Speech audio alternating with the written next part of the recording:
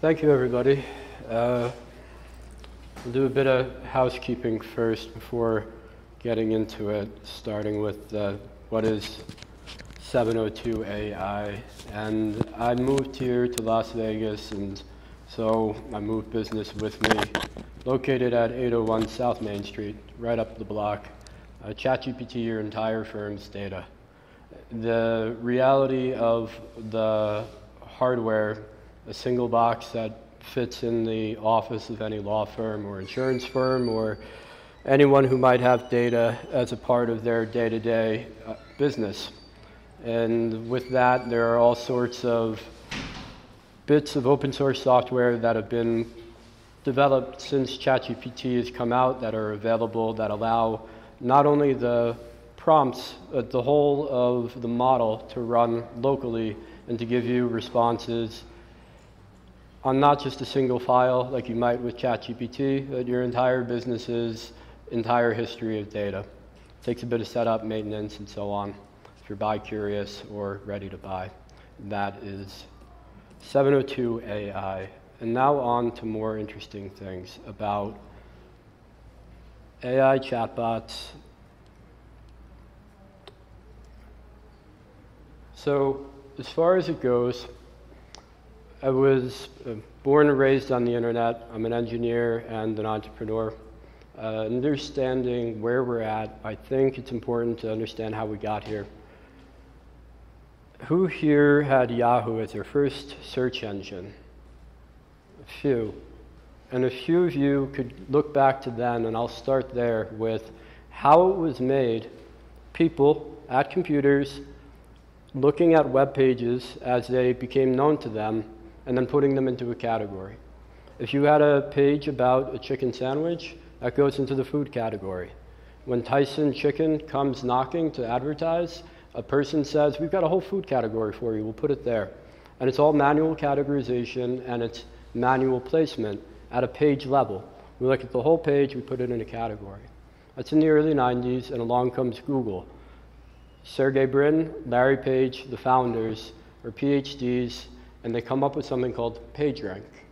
And whether PageRank has to do with pages or Larry Page, you can guess. What it does is it bases the connections between pages at a lower level than a page. It does it at the link level. All these people who were at Yahoo were going page by page, and the guys at Google did some math and they said, if a page has a link, let's see where does that link lead to. So if there's a link leading to the chicken sandwich page, that's good. And if there's 100 of them, that's better than the one that only has 50. And in that way, they're able to rank when you type in chicken sandwich according to which has the most inbound links. The concept in computer science is homophily. But really, it's just birds of a feather flock together. If there's these similar pages that are linked to you, that is proof positive for the math to say, well, this is relevant to people. And at the end of the day, it is people that are making the links. It's not so much the math that's so brilliant, it's that people are naturally doing these things because they're building web pages.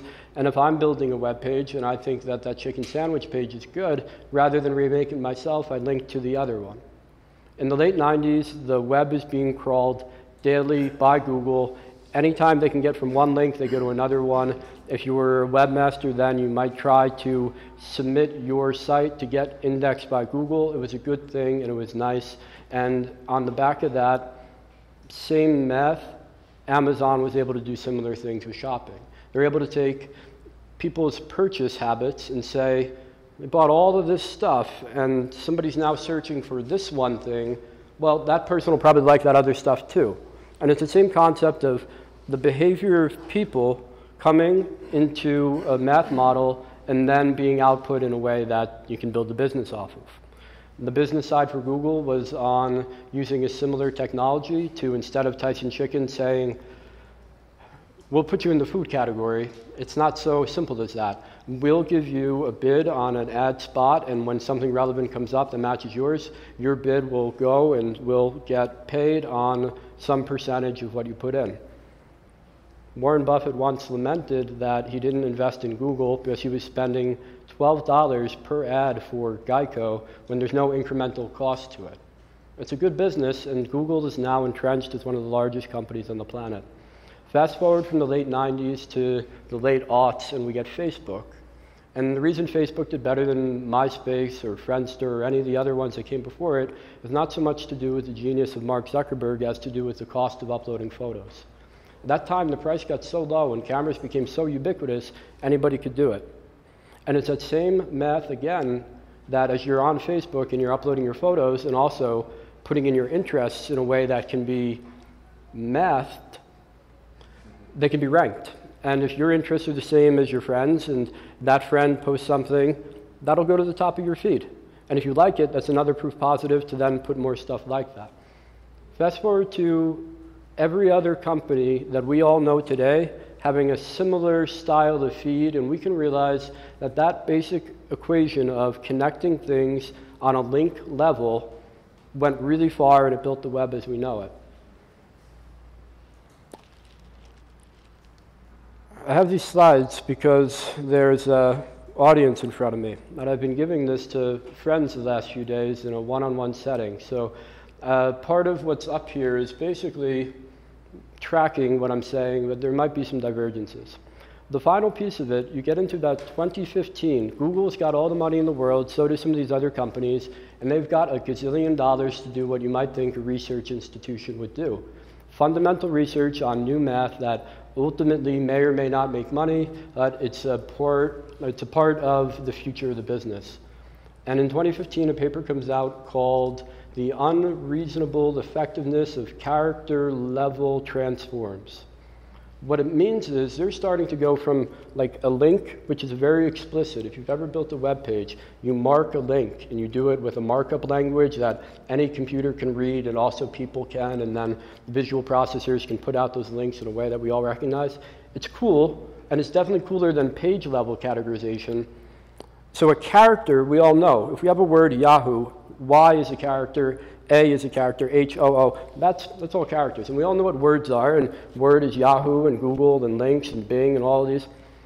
But a token is the size that the large language models that we talk about, like ChatGPT, are running on. And that's a subword piece. That's like the YAH and the OO in Google. And for an engineer like me, that's what I'm billed by. When I'm doing prompting at the API level, I'm getting billed by how many tokens there are. And it's a heuristic. It's not always easy to know ahead of time. It's not one word and all of that. But we get down the line from Yahoo to Bing, and the only way that that's possible to get that token level resolution is a lot of human activity. In the time that we've been using the web as a population of Earth, we've all been on Reddit and we've been on Tumblr and we've been on all of the places where the data that the companies have been selling to other companies has been done pragmatically using computers. And there's these simple interchange formats that any engineer works with that they're able to source from one place and then send to another. And that's how, when you want to use some type of social broadcast tool, you can upload to Hootsuite and it goes out to the other ones along comes this math in 2015 and 2017, and some folks are starting to realize the more data we give it, the more incredible the results. So it's the middle of the plague, and I'm on a phone call with another entrepreneur who's saying, I got access because I was part of Y Combinator to something called ChatGPT, pardon me. He said GPT-3 at the time. He had access to this beta, and he thought it was cool. He was using it for some company in Ohio to be able to give better legal advice. It wasn't quite there, but he was being paid to do it, and he thought it was promising. And GPT-2, GPT-3, 3.5, and 4, they're fundamentally on the idea of let's look at token level understanding of the web. As much data as we can do, Let's label as much of it as we can. In some ways, we can rely on the public that's already labeled a lot of this stuff for us. We can rely on researchers that have done some things for image recognition. We can rely on, okay, and we can do all of that, and then we can go further with our own people. These are some Silicon Valley folks. They're well funded to the degree that to spend a $100 million in something, like let's just label a lot of data so we can feed it into the machine, is very, very plausible. So they do that. And that's how we got to here today. We're at the third, maybe, if you want to look at it in the way that I've drawn it, but it's really just a continuum of we, society, are all just putting stuff up there, and some nerds on computers are trying to categorize it all. And they've gotten very good at it, and now that we have ChatGPT, we've gotten maybe scary good at it. I mean, it's getting to be where there's thoughts about AI today that a general populace might be afraid of.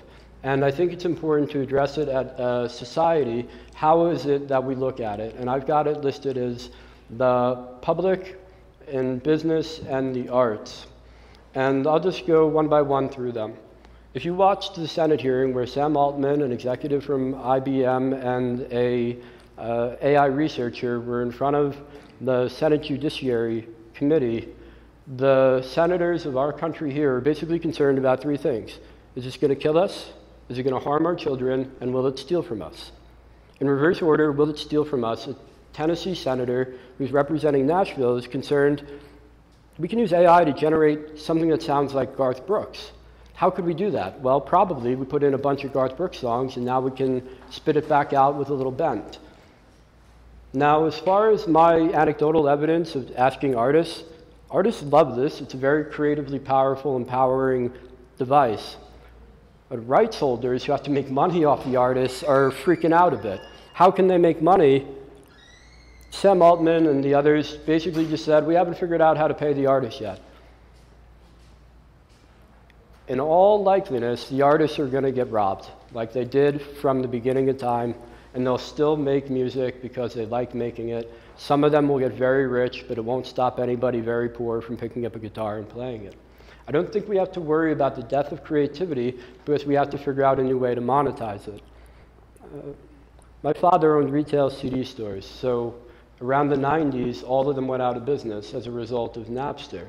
And his punk son at home, like uploading ripped CDs for downloads and torrents and wares, and at 12 years old, I didn't know what I was doing. But another thing that could be said is why didn't he innovate? My own pop, couldn't he see the internet coming? Well, waves come and they wipe out a whole lot of people. Even the best record stores like Tower went out of business.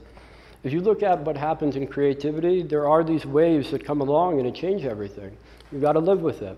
And at the end of this presentation, I'll be happy to take questions and comments. I see the hand in the audience, but I'd like to get next into firms, businesses. And a part of my work this year has been working with a law firm on some new software that's going to connect from their customer's phone all the way into their deep databases so that if they get injured in an accident and they've hired this law firm, they can report their pain scores. And it's a fairly pro forma application. I'm happy to do it. It's a good customer, it's here and local.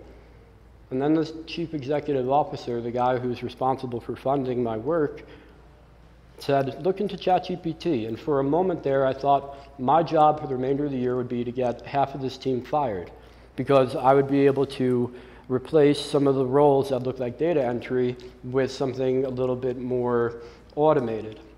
It passed pretty fast because I realized the only way these models work today that we are all so impressed by is on the back of a massive amount of data labeling.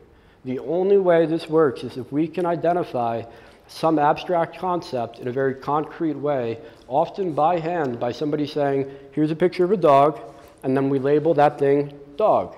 Or if there's a bigger scene, we say, in this scene, here's the dog, here's the lamp, here's the couch, and now we've got a more complex model that can do multi image identification. And on the words, it's the same. We can talk about the mapping between different languages. There's got to be some understanding of everybody in the audience that GPT is scary good in English. Uh, really, it isn't much in the language spoken on the Isle of Man that's going extinct. It's not very good in languages that it doesn't have a lot of data for. It's mostly uh, sense of size. I don't think that firms really are in a position to lay off people because there are too many other firms that are using this technology and it's like an all hands on deck to move people's skill sets from one style of data entry into a database to another style of data entry, which is into a data labeled pool that can ultimately feed into a model to feed back better results. And the best one is the Senate. Sam Altman, he goes to Washington, and the first senator asks about music. And then the next one is asking about our children. And we all have that same fear. Sam's response is we keep adult content out of ChatGPT. We do it because the only authentication we do is a checkbox that says you're over 13. And every one of us can agree you don't want anything sexual in front of your children, and so we can just say there's nothing inherently wrong with it. Some of us in here are sex workers, and we're all comfortable knowing at the end of the day, as adults, it's out there and it's a part of the world. But we don't want our children having it. So, fine, ChatGPT can't do that. What you also lose is the ability to generate a Quentin Tarantino movie. You, we can all appreciate the artistic of any maybe violent fantasy as a way to express something about society, you would lose that. You would also lose anything that's uh, righteously funny. It's all offensive unless you like comedy. So you have to realize with ChatGPT, it's one model and it's very public and it's very broad, and it has a relationship, which is to say, we need to make it available to as many people. There are some restrictions on it, and it seems like an okay thing by me. The final, Lindsey Graham is asking about can we program these things such that our drones could pick targets and kill them? And Sam says, yeah. And then the conversation moves on without any further comment. Now, think about it as you all understand computers as business owners and general members of a digitized country. It's been possible to do exactly that with previous technology, and we haven't. We have decisions to make about how we use our technology, and it's been proven out time and time again that we're happy to have AI agents and no problem with a phone tree that, if, even if we're annoyed by it, it's lowering the cost and we can get a cheaper flight. But we don't give them agency, and we haven't yet. We don't give them the decision making capability. That still lay ultimately down the line with a human at some level. You can get to a human after an AI phone tree, no matter what. I'm going to pause there on a philosophical, rhetorical thing called Burke's Pentad.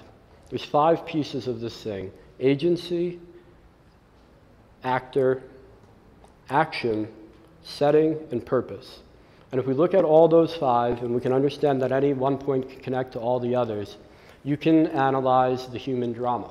You can look at any situation, there's always people in it, they're in a place, there's a purpose to being there. And what role do we want AI to play in that? It's been determined. Probably we don't want phones in church, so yeah, that's not right setting for AI. If you looked at it as simple geographic setting. But an agent, we're, we're down for that if we're all playing Dungeons and Dragons and we said, hey, AI, give us some purpose to this setting and be our dungeon master, maybe it'll work there too. But from parts of pleasure and business and responsibility of all kinds, agency isn't one of them. So the senators all have to do their jobs. They're part of a big public broadcast and answer and ask about the most broad generic things, and we can all get down with concern for our children, uh, concern for our jobs and livelihoods and the livelihoods of our constituents and our neighbors, and of course, the lives and deaths of our citizens and fellow men. So, I'm going to get more into the firm side of things with how can anybody get started with any of this beyond the prompt? Because it matters to me as an engineer much more how it works, how to build with it, than necessarily operate with a user interface. I believe that it matters to everybody else too. If this is some of the stuff that everybody on my team, from the uh, generative AI artist who did his project to get on John Oliver and thought, wow, this is cool, he is no longer impressed by stable diffusion and wants to go deeper and run it himself. And then the law firm that's hired me for this one is curious about well, what can we do more? How can we get a competitive edge if everybody has ChatGPT? So you can buy hardware. It took billions of dollars in investment and research to make these models that now can live on about 30 gigabytes, which is more, maybe, maybe, there's one person in here who has a phone with less than 30 gigabyte hard drive. It's from like a while ago. But basically all the phones in this room are going to be 64 and up. You can fit that much data on a phone. You need more processing power than the normal computer. You need some GPUs to do it. But people are running toys on their laptop and if you go a little bit further, you can get a real business tool out of it. You buy your hardware, your software, you can build with it. A locked door makes like a promise that it is the way to get into the secured area. And when IBM and OpenAI and a professor from Columbia all go in front of the Senate, and the senators are all, how do we regulate you guys, you big entities? They miss the point, which is that this is all based on publicly available math. And already engineers are gone in the side window and said, yeah, forget all your whatevers, we're going to do what we want with it. And it's a very creative thing that is very accessible and it doesn't have the gatekeeper like maybe Google or Facebook or some of the massive things out of the era that we all sort of came to think, well, Silicon Valley sucks a little bit. I mean, it was nice to have pictures of my grandma and all that, but like, you sold all my data out the back door and now it's a big problem. Or we keep saying this is harmful to our children, and you keep just feeding it to them. And so they don't really change their behavior. Why would they? Because the whole world continues to use it.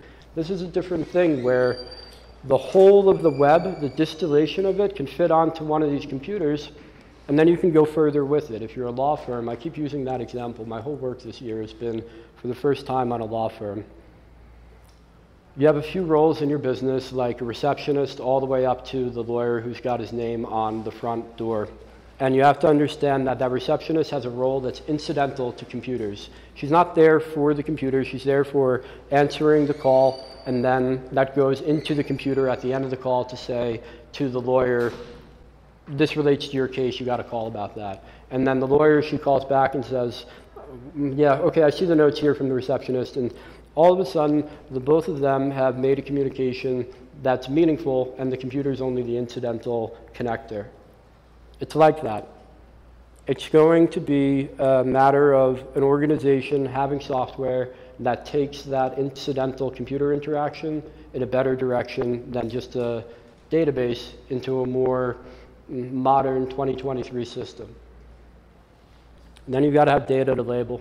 When we talk about a law firm that has maybe one receptionist that goes to maybe 12 caseworkers, and then they have maybe four paralegals, and it looks a little pyramidic. And those caseworkers, they're there to do work day in, day out. It's somewhat repetitive. It's basically a solid job that they can get in and out of and rely on, and maybe they want to make a career of it and get promoted or not. And that is a level at which anybody can believe it is possible to learn how to work with models in the same way that they learn how to work with any enterprise software, any content management system, any CRM, all of it is very plausible. So you put your IT people on getting some hardware, your software gals on building something cool, and all the people in the firm get involved with data. So at the end of it, this little proverb here about memory is meaningful because we've written it all down in so many ways over decades in the web that it can feel like, wow, where is this all going? It was all done in secret. Most of the data in ChatGPT is from 2021. You can't get your local news in there, and it takes a massive amount of investment to build the next one. And so there's a certain thing where it's paused at a moment in time, and especially at the scale of the web. But as a smaller firm, as an organization, as a creative artist studio, or even just your local neighborhood newspaper, you can be a bit more adaptive to today because what you're dealing with is not indexing the entire planet. You've got some version of that available in open source, and it's that augmented with your firm's stuff, which is moving faster, but it's at a smaller size, and you can retrain more often, keep up to date. So you don't have to remember it all, you just keep feeding it and then occasionally refresh. And I like this stuff. If there's any questions, I can help you get started. It's really been a fun thing to learn about on my end, and I keep learning more. So if that's all I think I have to say. I'm going to say thank you to Elizabeth for hosting me, and more broadly to Josh Levitt for hosting this whole event, and uh, to all of you here for uh, entertaining the idea that this is worth listening to. Thank you.